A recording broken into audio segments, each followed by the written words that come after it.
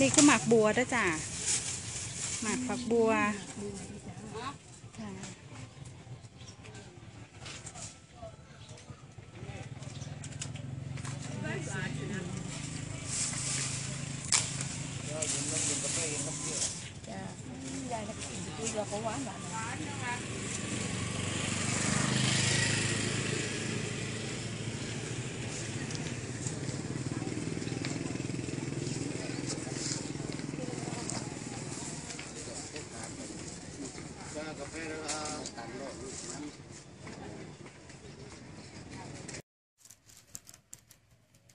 จ้ะสายอีสานบรรทุ่งจ้า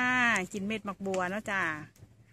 เม็ดหมากบัวมันเป็นฟักจ้า เม็ดทางในมันจากที่เป็นดอกเอามาบูชาพระเนาะจ้า นี่ก็เป็นหมากมันจ้า เป็นเม็ดเป็นทางในมันเนาะจ้าเรื่องข้างในจ้ามีความหวานจ้า หวานมันอืนี่เม็ดดอกบัวจ้า เม็ดบัว แกะแกะไปจ้ะมันก็จะแจกเปลือกจ้าแจกเปลือกกันเม็ดมันออก แกะเปลือกเม็ดมันออกแซบมันจ้าอืม ตัวนี้นะคะเม็ด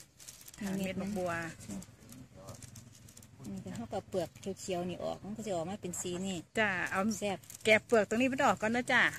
แกะจ้าะเปลือกมันออกจ้าเวลากินมันจังสิแซ่บหวานจ้าเวลาที่ถ้ากินทั้งเปลือกมันขมจ้ามันมีรสขมจ้าที่กินรสแบบบัวอันนี้แหละที่เขาไปเฮ็ดกัน